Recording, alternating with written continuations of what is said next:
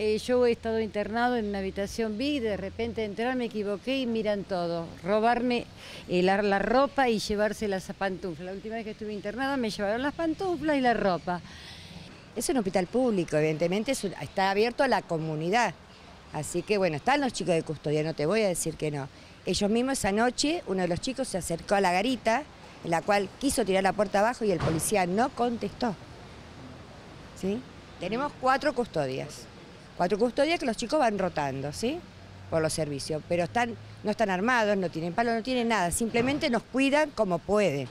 Entró un muchacho, nadie lo vio porque entró por la parte de atrás del hospital, eh, no había vigilancia, se metió a las salas donde estaban las mamás con los bebés, eh, amenazándolas les robaron eh, plata, celulares a tres, a tres mamás, con el riesgo de que podrían haberse llevado una criatura. O sea, nadie se enteró por el momento.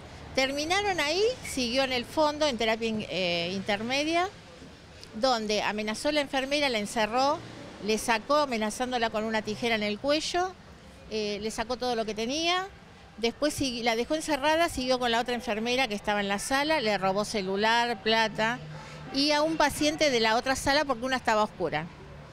Después se fue, o sea, llamaron a un vigilador que estaba acá adelante y amenazando al vigilador él también, le dijo que si hacía algo lo mataba. O sea, que se fue como entró, por la puerta de adelante. Nadie lo vio. Este video está, está registrado en las cámaras, bien clarito, a la hora que entró, cómo entró y cómo salió. ¿Una persona joven? Dicen que es joven, entre 18 y 20 años. ¿Agresivo? ¿Qué, qué cuentan los- las, las No, víctimas? simplemente le dijo a los chicos de custodia, te registro, no hagas nada, pues sos boleta. Se llevó de la de terapia intermedia, se llevó medicamentos también, sí. Todo esto que podía haberse llevado una criatura. Claro, con, con el riesgo ese de haberse llevado una criatura y nadie sabe nada. ¿viste? Y es continuo el tema de las amenazas, de la gente que viene a atenderse y te amenaza que si no la atendés ya te... Aparte que las que ponemos la cara somos nosotras, ¿entendés? Y, y estamos todo el tiempo con ese tema. Al director de esta noble institución, como dice Susana Robles, le pedí varias veces, años, le pedí las rejas. Digo, ¿qué vamos a esperar? ¿Que nos roben un bebé? Me dice que él que por seguridad no va a poner las rejas. ¿Qué vamos a esperar? ¿Que nos maten? ¿Que roben un bebé? ¿Qué vamos a hacer? A mí misma me han pulsado por dos canadienses, por querer sacarme dos canadienses en la puerta. ¿Y dónde está la policía? Dos canadienses, sacarme esto.